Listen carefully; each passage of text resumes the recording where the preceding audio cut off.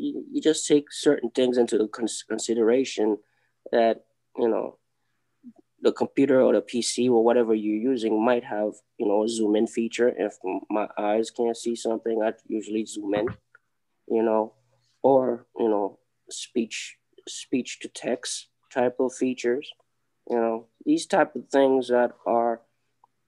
already out there for other cases like blindness or low vision or hearing as well, because it,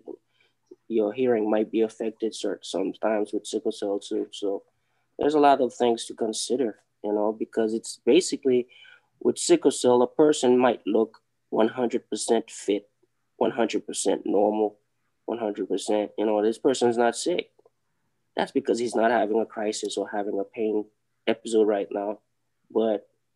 you don't know what their energy level is, you know, you don't really understand that this person is basically a, a, a disabled person right, uh, uh, has many handicaps, many many uh, inflicted injuries, internal organs that might not be working properly. So there's all these things to consider that